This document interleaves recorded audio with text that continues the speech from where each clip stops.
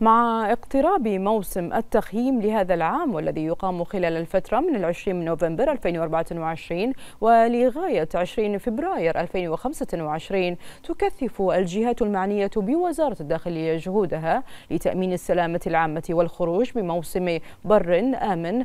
وضعت الإدارة العامة للمرور استراتيجية متكاملة للطرق والشوارع المؤدية إلى منطقة التخييم. المزيد من التفاصيل في سياق التقرير التالي.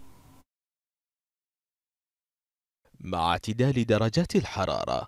يبدأ موسم البر في مملكة البحرين حيث يتوجه المواطنون والمقيمون إلى المناطق المخصصة للتخييم للاستمتاع بأجواء البر المميزة في هذا الموسم الذي ينطلق في العشرين من نوفمبر الجاري إلى العشرين من فبراير 2025 حيث يبرز دور الجهات الأمنية لضمان تجربة آمنة ومنظمة لكافة المخيمين. بناء على توجيهات سيدي سمو الشيخ خليفة بن علي آل خليفة محافظ المحافظة الجنوبية بوضع استراتيجية عمل تهدف إلى إنجاح موسم البر.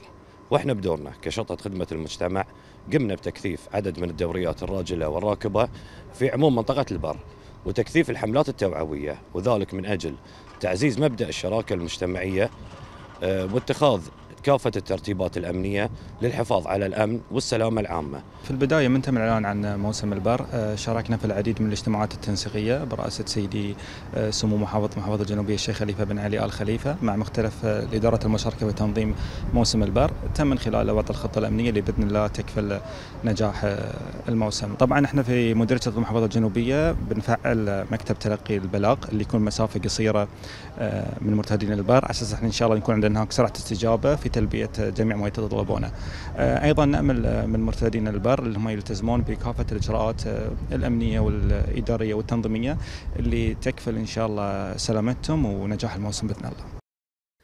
وفي إطار دعم جهود التنظيم تسعى المحافظة الجنوبية إلى تعزيز جانب التعاون والشراكة المجتمعية من خلال مبادرة خيم عبر تطبيق الجنوبية والتي تعمل على تسهيل تسجيل التخييم والحصول على التراخيص اللازمة حيث يبدأ التسجيل من الخامس عشر إلى الخامس والعشرين من نوفمبر الجاري من أجل تحقيق موسم بر آمن. خدمات البلدية هي تبتدي أول شيء في التصاريح التجارية. الخاصة بالمحلات التجارية والمخيمات التأجير. طبعا آه، بالتنسيق مع الجهات المعنية والمحافظة الجنوبية. آه، عندنا آلية وسرعنا الآلية هذه السنة إن شاء الله. آه، كذلك عندنا خدمات النظافة المتعلقة بالبر. آه، اتفقنا مع الشركة بزيادة عدد الحاويات الموجودة في البر. وتوزيعها ووضعها حتى في الخرائط الخاصة بالمحافظة اللي تخص مناطق التخييم.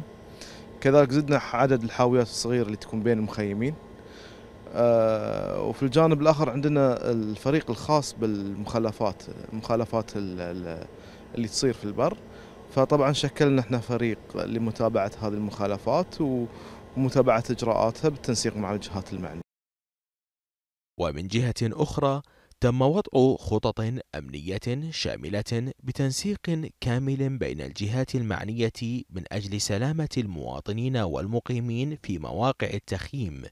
إذ تعمل الإدارة العامة للمرور على تنفيذ حملات توعوية لنشر الوعي وزيادة الثقافة لتؤكد على أهمية الالتزام بالأنظمة والقواعد المرورية حفاظا على أرواح مستخدمي الطريق من خلال الابتعاد عن السلوكيات المرورية الخاطئة وذلك لرفع معدلات السلامة. فيما تعمل الإدارة العامة للدفاع المدني على تخصيص فريق مختص من ممثلي الإدارة يقوم بزيارات تفقدية لتوعية مرتدي البر بشأن الأخطاء الشائعة التي يتم ارتكابها وتجنب الوقوع بها من خلال الالتزام بإجراءات الأمن والسلامة في الخيام وذلك بتوزيع مطويات على رواد الخيام لتشجيعهم على الالتزام باشتراطات السلامة.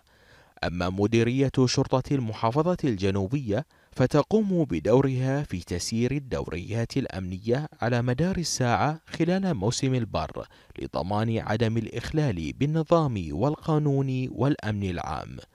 جهود متضافرة من مختلف الإدارات. هدفها تحقيق موسم بر آمن وممتع للجميع.